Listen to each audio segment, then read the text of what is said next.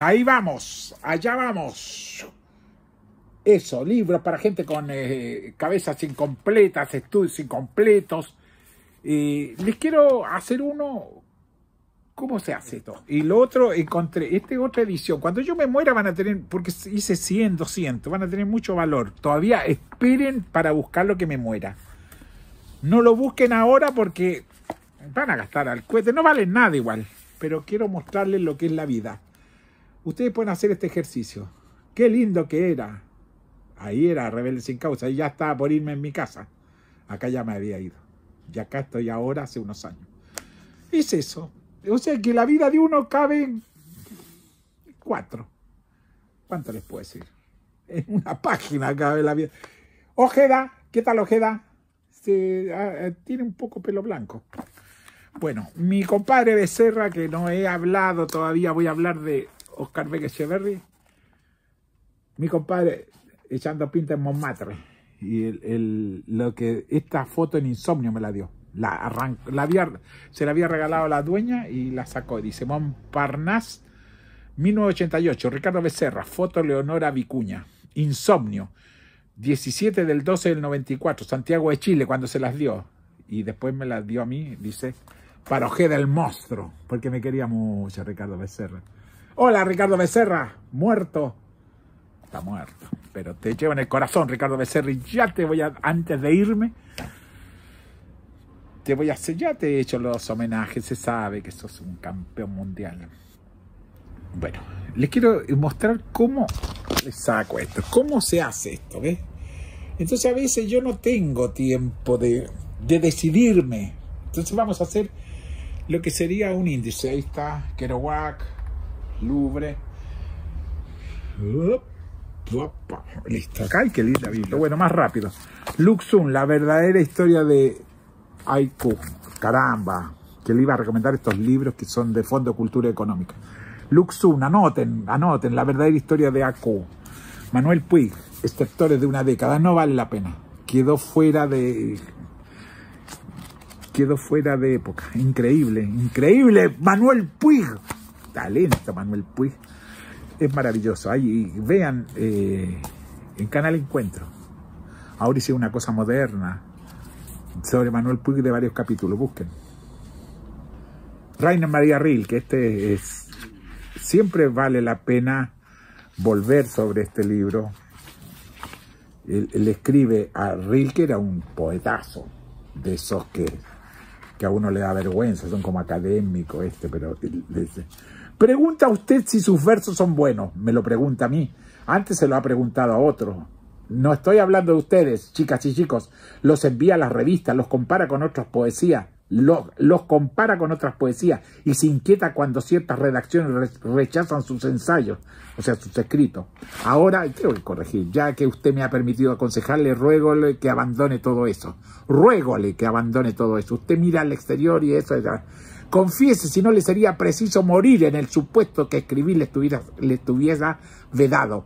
Esto ante todo, pregúntese en la hora más serena de su noche, ¿debo escribir? Ahonde en sí mismo hacia una profunda respuesta y si la respuesta y si resulta afirmativa, si puede afrontar tan seria pregunta con un fuerte y sencillo ¿debo? Construye entonces su vida según esa necesidad. Alrededor de la escritura, caramba, los, los cosos del corazón. Un libro maravilloso Cyrano Bergerac, en realidad yo leo una sola parte, dice. Eh, está en la luna, viaja a la luna, e historia cómica de los estados de Imperio del Sol. Entonces él llega y le pasan un libro, dice, mi Daimon había traducido estos libros a la lengua de este mundo, pero yo, como no vi en ellos nada impreso, solo podré explicar cómo estaban hechos estos volúmenes. Al abrir el estuche encontré no sé qué continente de metal muy parecido a nuestros relojes y lleno de no sé qué pequeños resortes y de máquinas imperceptibles. Era, en efecto, un libro, pero era un libro milagroso que no tenía ni hojas ni letras.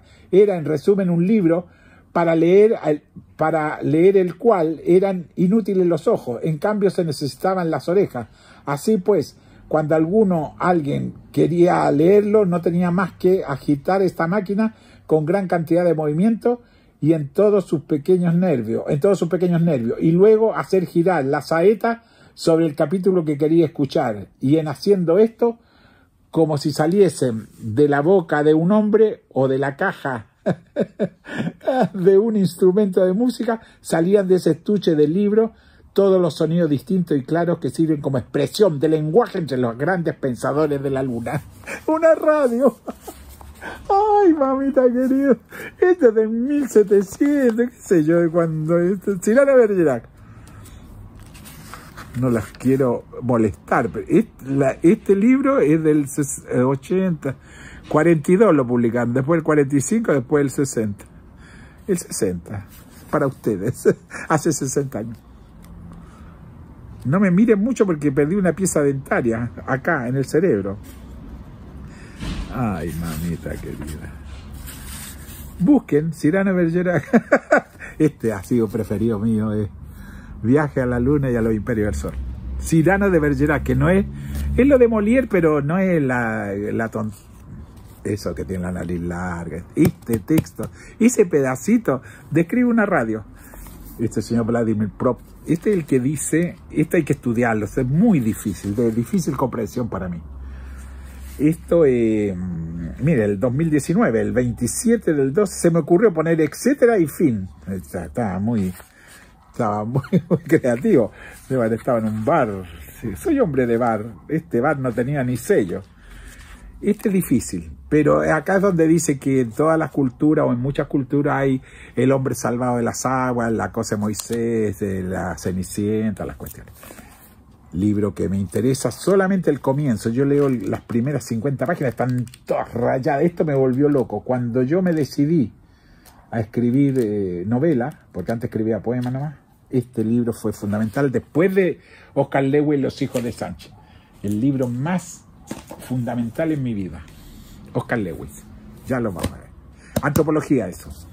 Pero anoten este señor el antropólogo como autor, Clifford Gertz. Este es el que dice el estar ahí, que mi literatura se basa en eso, estar siempre en lo que cuento, estoy ahí, aún los poemas. Estaba ahí, estaba haciendo los micros y estoy ahí, el estar ahí. Asimov.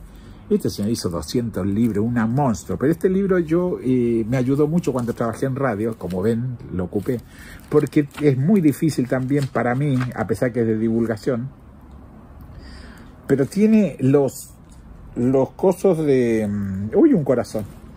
Uy, las notas me matan a mí. En los países de habla hispana se emplea la denominación anglosajona, según la cual un billón es un, un billón es un millón de millones, un millón es un millón de billones, un trillón es un millón de billones, en cambio, en Francia y en los Estados Unidos se emplea la llamada notación francesa, según la cual un billón es igual a mil millones, etcétera, etcétera. Esas cosas me, me vuelven loco, que no las voy a entender nunca, pero Asimov, la historia, la cuestión de los números. Libro fundamental clave para Ojeda, Los hijos de Sánchez. Yo, con esto yo escribía, no estupideces, con este libro a fines de los 70.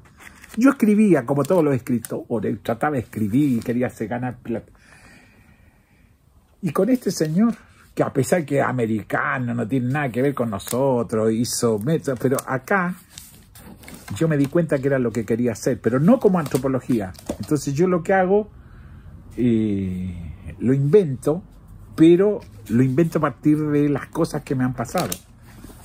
Entonces yo hablo de Ricardo, no es exacto, pero acá cuando iba a jugar yo, ahí gané 2.870, no pongo los que perdí.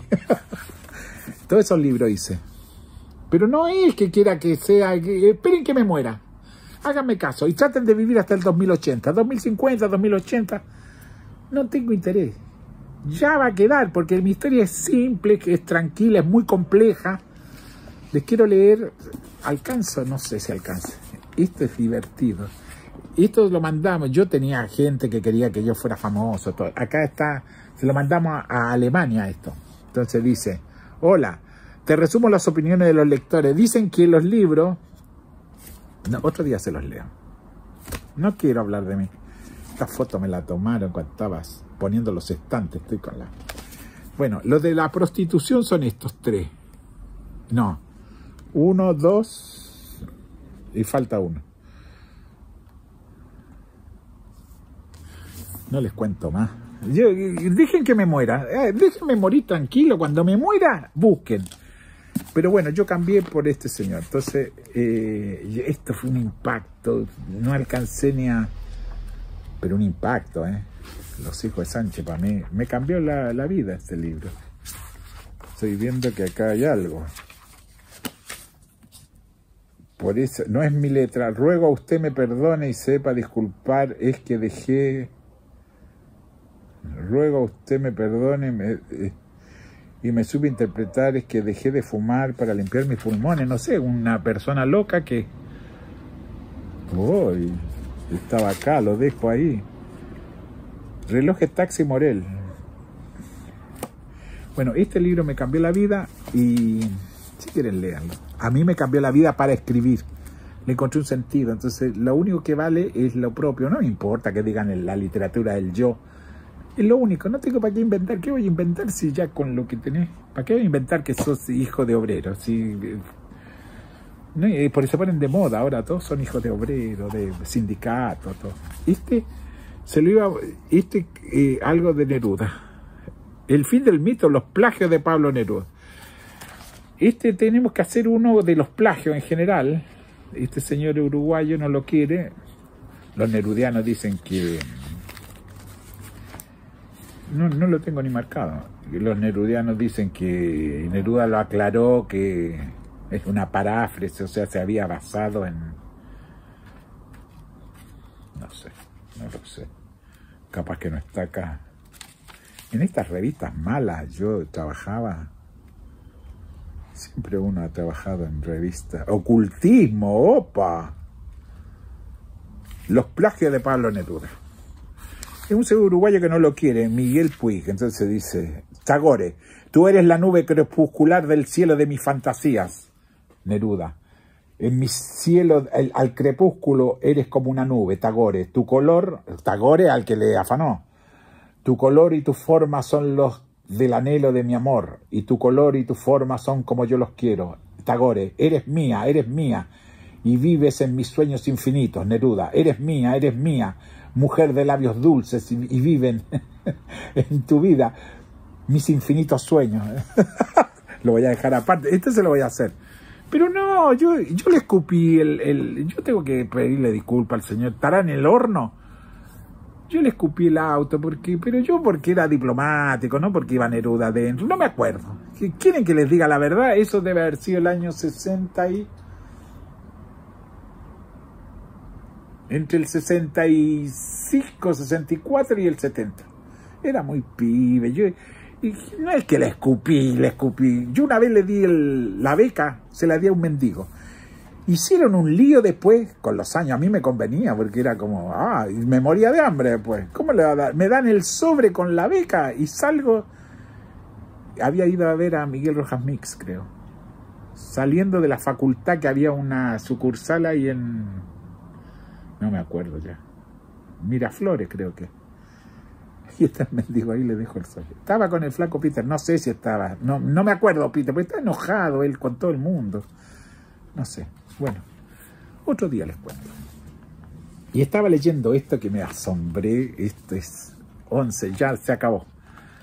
Habla, este es el amor de Borges, este, este la canto, que escribió Claro Oscuro, ese de Borges, y habla de la mamá.